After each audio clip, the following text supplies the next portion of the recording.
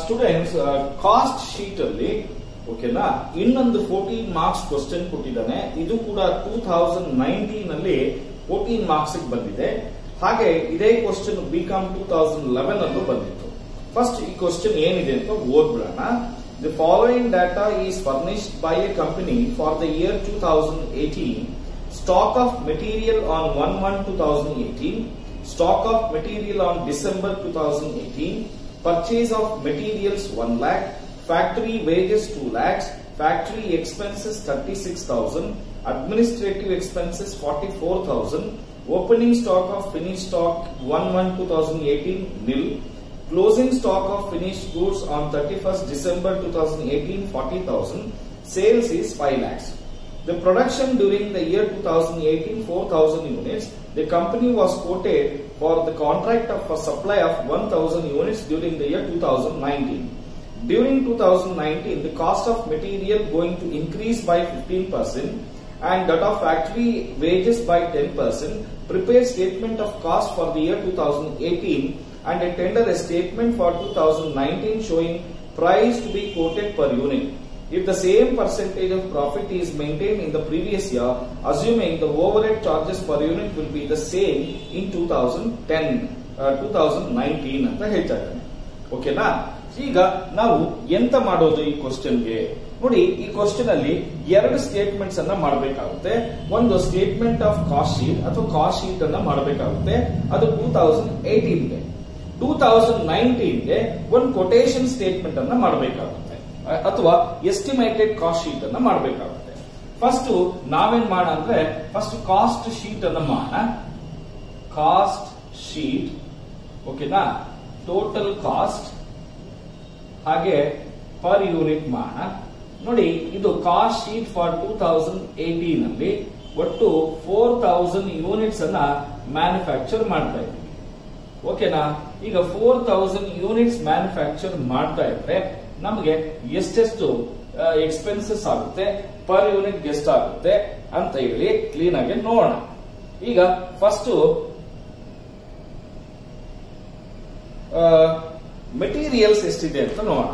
ನೋಡಿ first opening stock of material opening stock of raw material one one two thousand eighteen ಅಲ್ಲಿ ನಮ್ಮ ಹತ್ರ seventy thousand ಇದೆ. Sorry seventy thousand ಇದೆ. Total cost ಅಲ್ಲಿ ಹಾಕೋಣ ಇದಕ್ಕೆ ಪರ್ಚೇಸ್ ಆಫ್ ರಾ ಮೆಟೀರಿಯಲ್ನ ಆಡ್ ಮಾಡೋಣ. ಪರ್ಚೇಸ್ ಆಫ್ ರಾ ಮೆಟೀರಿಯಲ್ ಒಟ್ಟು ಒನ್ ಲ್ಯಾಕ್ ಇದೆ. One lakh total one lakh seventy thousand ಇದೆ. ಇದರಲ್ಲಿ closing stock of raw material thirty first December eighteen ಅಲ್ಲಿ ನಮ್ಮ ಹತ್ರ ಟೆನ್ ಥೌಸಂಡ್ ರುಪೀಸ್ ಇದೆ. ಅಲ್ಲಿಗೆ total one lakh sixty thousand ರುಪೀಸ್ನ materials consumed ಅಂತ ಬರೆಯೋಣ.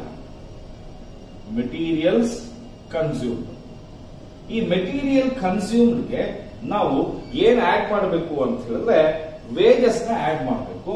ಓಕೆನಾ ವೇಜಸ್ ಎಷ್ಟು ಕೊಟ್ಟಿದ್ದಾರೆ ಅಂತ ಹೇಳಿದ್ರೆ ಟೂ ಲ್ಯಾಕ್ ರುಪೀಸ್ ವೇಜಸ್ನ ಕೊಟ್ಟಿದ್ದಾರೆ.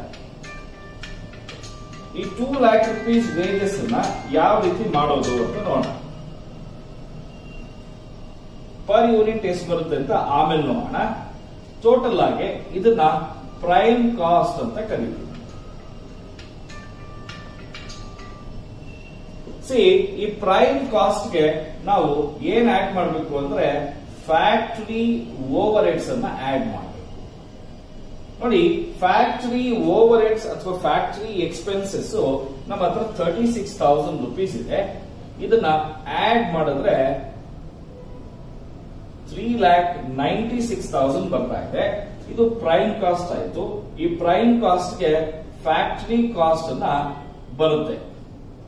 ಇದು ಫ್ಯಾಕ್ಟರಿ ಕಾಸ್ಟ್ ಪ್ರೈಮ್ ಕಾಸ್ಟ್ಗೆ ಫ್ಯಾಕ್ಟರಿ ಓವರ್ ಹೆಡ್ಸ್ ಅನ್ನ ಆಡ್ ಮಾಡಿದ್ರೆ ಬರೋ ಅಂತದ್ದು ಏನ್ ಬರುತ್ತೆ? ಫ್ಯಾಕ್ಟರಿ ಕಾಸ್ಟ್ ಬರುತ್ತೆ. ಈ ಫ್ಯಾಕ್ಟರಿ ಕಾಸ್ಟ್ಗೆ ನಾವು ಆಫೀಸ್ ಓವರ್ ಹೆಡ್ ಅಥವಾ ಅಡ್ಮಿನಿಸ್ಟ್ರೇಷನ್ ಓವರ್ ಹೆಡ್ಸ್ ಅನ್ನ ಆಡ್ ಮಾಡಬೇಕಾಗುತ್ತೆ. ನೋಡಿ ಅಡ್ಮಿನಿಸ್ಟ್ರೇಷನ್ ಎಕ್ಸ್ಪೆನ್ಸಸ್ ಅಂತ ಫಾರ್ಟಿ ಫೋರ್ ಥೌಸಂಡ್ ರುಪೀಸ್ ಕೊಟ್ಟಿದ್ದಾರೆ. ಫಾರ್ಟಿ ಫೋರ್ ತೌಸಂಡ್ನ ಆಡ್ ಮಾಡಿದ್ರೆ ನಮಗೆ four lakh forty thousand rupees ಬರ್ತಾ ಇದೆ. ಈ ಫೋರ್ ಲ್ಯಾಕ್ ಫಾರ್ಟಿ ತೌಸಂಡ್ ಅನ್ನ ನಾವು ಕಾಸ್ಟ್ ಆಫ್ ಪ್ರೊಡಕ್ಷನ್ ಅಂತ ಕರಿತೀವಿ.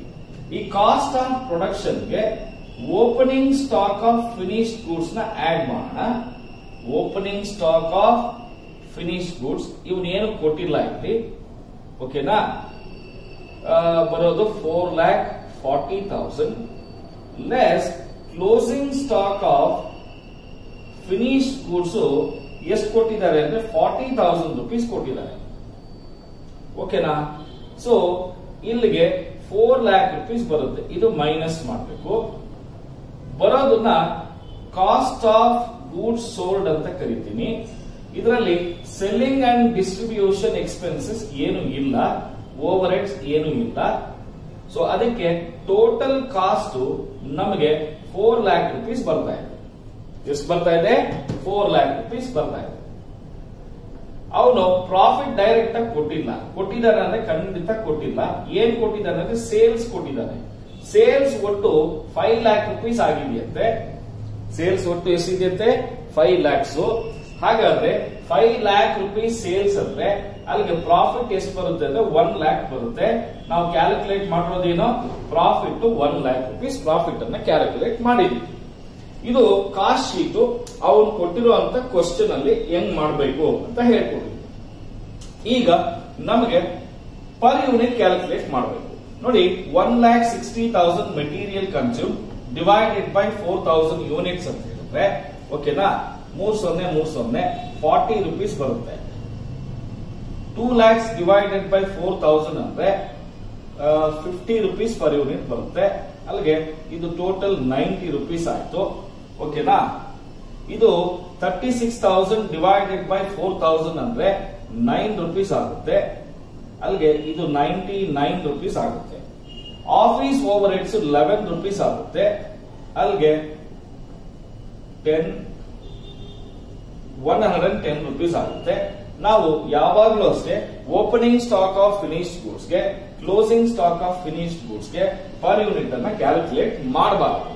ಹಾಗಾದ್ರೆ four lakhs divided by four thousand ಅಂತ ಹೇಳಿದ್ರೆ ಎಷ್ಟು ಬರುತ್ತೆ? ಹಂಡ್ರೆಡ್ ರುಪೀಸ್ ಪರ್ ಯೂನಿಟ್ ಬರುತ್ತೆ. ಇಲ್ಲಿ hundred rupees per unit selling and distribution rate ಏನು ಇಲ್ಲ.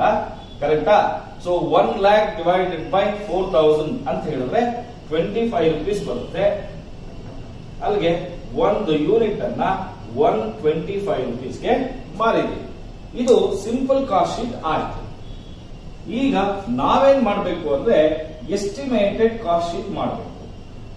ಸರ್ ಎಸ್ಟಿಮೇಟೆಡ್ ಕಾಸ್ಟ್ ಶೀಟ್ ಅನ್ನ ಹೆಂಗ್ ಮಾಡೋದು? ಟೂ ತೌಸಂಡ್ ನೈನ್ಟೀನ್ ಅಲ್ಲಿ ನಾವು ಒಂದು ಸಾವಿರ ಯೂನಿಟ್ಸ್ ಅನ್ನ ಮ್ಯಾನುಫ್ಯಾಕ್ಚರ್ ಮಾಡ್ತಾ ಇದೀವಂತೆ ಎಷ್ಟು ಯೂನಿಟ್ ಮ್ಯಾನುಫ್ಯಾಕ್ಚರ್ ಮಾಡ್ತಾ ಇದೀವಂತೆ ಒನ್ ತೌಸಂಡ್ ಯೂನಿಟ್ಸ್ ಅನ್ನ ಮ್ಯಾನುಫ್ಯಾಕ್ಚರ್ ಮಾಡ್ತಾ ಇದೀವಿ ನೋಡಿ ಟೂ ತೌಸಂಡ್ ಏಟೀನ್ ಅಲ್ಲಿ ಫೋರ್ ತೌಸಂಡ್ ಯೂನಿಟ್ಸ್ ಮ್ಯಾನುಫ್ಯಾಕ್ಚರ್ ಮಾಡೋದಕ್ಕೆ ನಮ್ಗೆ ಒಟ್ಟು ಫೈವ್ ಲ್ಯಾಕ್ ರುಪೀಸ್ ಸೇಲ್ಸ್ ಆಗಿದೆ one twenty five rupees selling price ಆಗಿದೆ ಓಕೆನಾ ಹಾಗಾದ್ರೆ ಟೂ ತೌಸಂಡ್ ನೈನ್ಟೀನ್ ಅಲ್ಲಿ ನಾವು ಒಂದ್ ಸಾವಿರ ಯೂನಿಟ್ಸ್ನ ಪ್ರೊಡ್ಯೂಸ್ ಮಾಡಿದ್ರೆ ಓಕೆನಾ ಹಾಗೆ ಮೆಟೀರಿಯಲ್ ಪ್ರೈಸ್ ಏನಾಗಿದೆಯಂತೆ?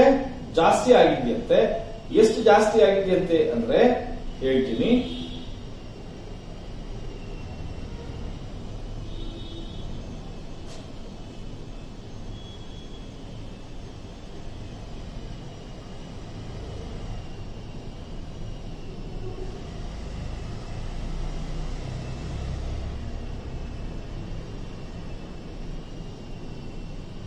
ಮೆಟೀರಿಯಲ್ ಪ್ರೈಸ್ ಎಷ್ಟು ಜಾಸ್ತಿ ಆಗಿದೆ ಅಂತಂದ್ರೆ ಫಿಫ್ಟೀನ್ ಪರ್ಸೆಂಟ್ ಇನ್ಕ್ರೀಸ್ ಆಗಿದೆ ಅಂತೆ. ಹಾಗೆ ವೇಜಸ್ ಟೆನ್ ಪರ್ಸೆಂಟ್ ಜಾಸ್ತಿ ಆಗಿದೆ ಅಂತೆ. ಓಕೆನಾ ಪರ್ ಯೂನಿಟ್ಗೆ ನೋಡಿ, ಇದು ಟೋಟಲ್ ಕಾಸ್ಟ್ ಅಂತ ಅನ್ಕೋಣ. ಇದನ್ನ ಕಾಸ್ಟ್ ಪರ್ ಯೂನಿಟ್ ಅಂತ ಅನ್ಕೋಣ.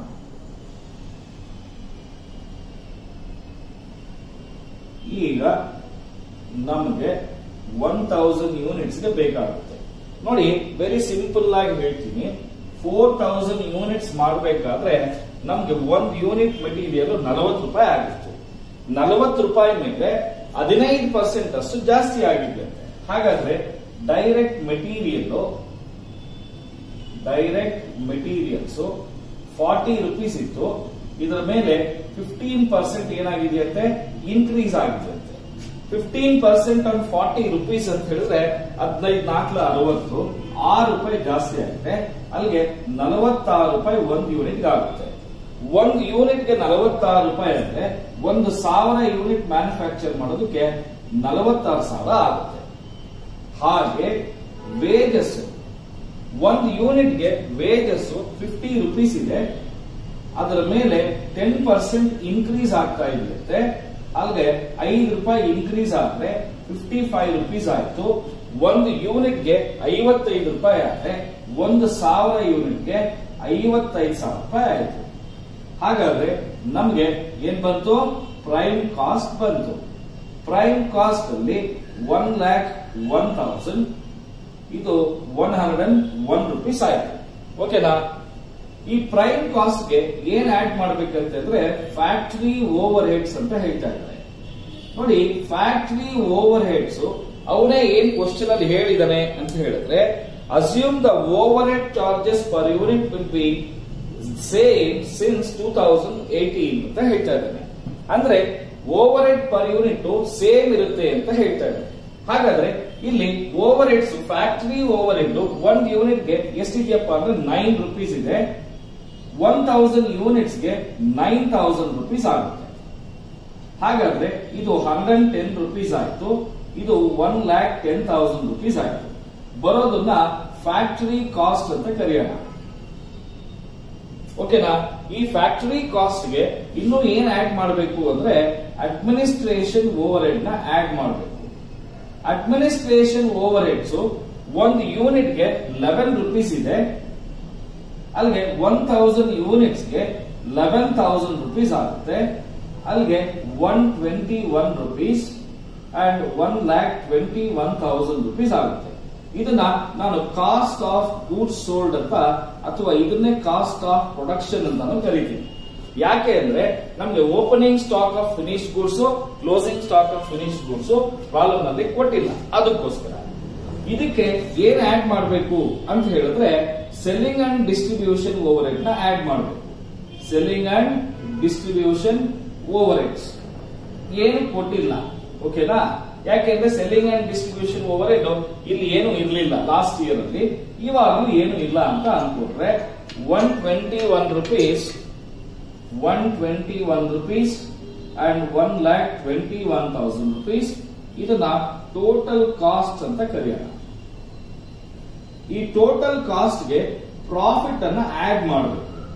ಅವನೇನ್ ಹೇಳ್ತಾ ಇದ್ದಾನಂದ್ರೆ ಹೋದ ವರ್ಷ ಎಷ್ಟು ಪರ್ಸೆಂಟೇಜ್ ಪ್ರಾಫಿಟ್ ಇತ್ತು ಅಷ್ಟೇ ಪರ್ಸೆಂಟೇಜ್ ಪ್ರಾಫಿಟ್ ಈ ವರ್ಷನೂ ಹಾಕಿ ಅಂತ ಹೇಳ್ತಾರೆ ನೋಡಿ, ಹೋದ ವರ್ಷ ಒಟ್ಟು ಒಂದು ಲಕ್ಷ ರೂಪಾಯಿ ಪ್ರಾಫಿಟ್ ಬಂದಿತ್ತು. ಎಷ್ಟಿತ್ತು ಟೋಟಲ್ ಕಾಸ್ಟ್ ಅಂದ್ರೆ ನಾಲ್ಕು ಲಕ್ಷ ರೂಪಾಯಿ ಇತ್ತು. ಅಲ್ಲಿಗೆ ಒಂದ್ ಲಕ್ಷ ಡಿವೈಡೆಡ್ ಬೈ ನಾಲ್ಕು ಲಕ್ಷ ಇಂಟು ಹಂಡ್ರೆಡ್ ನೋಡಿ one lakh divided by four lakh into hundred ಮಾಡಿದ್ರೆ ಟ್ವೆಂಟಿ ಫೈವ್ ಪರ್ಸೆಂಟ್ ಬರುತ್ತೆ. ಎಷ್ಟು ಬರುತ್ತೆ? ಟ್ವೆಂಟಿ ಫೈವ್ ಪರ್ಸೆಂಟ್ ಬರುತ್ತೆ. ಹಾಗಾದ್ರೆ ಈ ವರ್ಷ ನಮ್ಗೆ cost one lakh twenty one thousand ಇದೆ. ಇದರ ಮೇಲೆ ಟ್ವೆಂಟಿ ಫೈವ್ ಪರ್ಸೆಂಟ್ ಅಷ್ಟು ಪ್ರಾಫಿಟ್ ಅನ್ನ ಕ್ಯಾಲ್ಕುಲೇಟ್ ಮಾಡೋಣ. ಹಾಗಾದ್ರೆ twenty five thousand twenty five percent ಮಾಡಿದ್ರೆ ಎಷ್ಟು ಬರುತ್ತೆ ಅಂತ ನೋಡೋಣ. One lakh twenty one thousand into twenty five percent thirty thousand two fifty rupees profit ಬರ್ತಾ ಇದೆ. Thirty thousand two fifty rupees ಒಂದು ಯೂನಿಟ್ ಎಷ್ಟಪ್ಪ ಆಗುತ್ತೆ ಅಂತ ಹೇಳಿದ್ರೆ, ಸಾವಿರ ಯೂನಿಟ್ ಅಂತ ಹೇಳಿದ್ರೆ, ಒಂದು ಸಾವಿರ ಯೂನಿಟ್ ಅಂದ್ರೆ ಮೂವತ್ತು ರೂಪಾಯಿ ಇಪ್ಪತ್ತೈದು ಪೈಸೆ ಬರ್ತಾ ಇದೆ. ಹಾಗಾದ್ರೆ ನಾವು ಒಂದು ಸಾವಿರ ಯೂನಿಟ್ನ ಸೇಲ್ ಮಾಡಬೇಕಾದ್ರೆ ಒಂದು ಯೂನಿಟ್ಗೆ ಎಷ್ಟಂತ ಚಾರ್ಜ್ ಮಾಡಬಹುದು ಒಂದ್ ನೂರ ಐವತ್ತೊಂದು ರೂಪಾಯಿ ಇಪ್ಪತ್ತೈದು ಪೈಸೆ ಟು ಒಂದ್ ಯೂನಿಟ್ಗೆ ನಾವು ಏನ್ ಮಾಡ್ಬೋದು? ಕೊಟೇಶನ್ ಕೊಡಬಹುದು ಓದ್, ಇದರಲ್ಲಿ ಏನಾಗಿತ್ತು? ನೂರ ಇಪ್ಪತ್ತೈದು ರೂಪಾಯಿ ಆಗಿತ್ತು ಈ ವರ್ಷ ಏನಾಗಿದೆ? ಅದು ನೂರ ಐವತ್ತೊಂದು ರೂಪಾಯಿ ಇಪ್ಪತ್ತೈದು ಪೈಸೆ ಆಗಿದೆ. ಕಾರಣ ಇಷ್ಟೇ ನಂಬರ್ ಆಫ್ ಯೂನಿಟ್ಸ್ ಇಲ್ಲಿ ಕಡಿಮೆ ಪ್ರೊಡ್ಯೂಸ್ ಮಾಡ್ತಾ ಇದ್ದೀವಿ. ನಂಬರ್ ಆಫ್ ಯೂನಿಟ್ಸ್ ಕಡಿಮೆ ಪ್ರೊಡ್ಯೂಸ್ ಮಾಡಿದಾಗ ಓವರ್ ಹೆಡ್ಸ್ ಫ್ಯಾಕ್ಟರಿ ಮತ್ತೆ ಅಡ್ಮಿನಿಸ್ಟ್ರೇಷನ್ ಹೊರಟು ಪರ್ ಯೂನಿಟ್ ಅಷ್ಟೇ ಇರೋದ್ರಿಂದ ಖಂಡಿತ ಏನಾಗುತ್ತೆ? ಜಾಸ್ತಿ ಆಗಿದೆ. ಕಾಸ್ಟ್ ನೂರ ಐವತ್ತೊಂದು ರೂಪಾಯಿ ಇಪ್ಪತ್ತೈದು ಪೈಸೆ ಆಗಿದೆ. ಅದೇ ನಾಲ್ಕು ಸಾವಿರ ಯೂನಿಟ್ಸ್ನ ಪ್ರೊಡ್ಯೂಸ್ ಮಾಡಿದ್ರೆ ಒಂದು ಯೂನಿಟ್ನ ನೂರ ಇಪ್ಪತ್ತೈದು ರೂಪಾಯಿಗೆ ಮಾರಬಹುದು. ಹಾಗೆ ಮೆಟೀರಿಯಲ್ ಕಾಸ್ಟ್ ಜಾಸ್ತಿ ಆಗಿದೆ, ಮತ್ತೆ ವೇಜಸ್ ಕೂಡ ಹತ್ತು ಪರ್ಸೆಂಟ್ ಜಾಸ್ತಿ ಆಗಿದೆ. ಇವೆಲ್ಲ ಕಾರಣದಿಂದ ಕೊಟೇಶನ್ ಪ್ರೈಸ್ ಅಂದ್ರೆ ಎಸ್ಟಿಮೇಟೆಡ್ ಪ್ರೈಸ್ ಏನಾಗ್ತಾ ಇದೆ? ಜಾಸ್ತಿ ಆಗ್ತಾ ಇದೆ. ಇದನ್ನ ನೀಟಾಗಿ ಕಾಪಿ ಮಾಡ್ಕೊಳ್ಳಿ. ಫೋರ್ಟೀನ್ ಮಾರ್ಕ್ಸ್ಗೆ ತುಂಬಾ ಇಂಪಾರ್ಟೆಂಟ್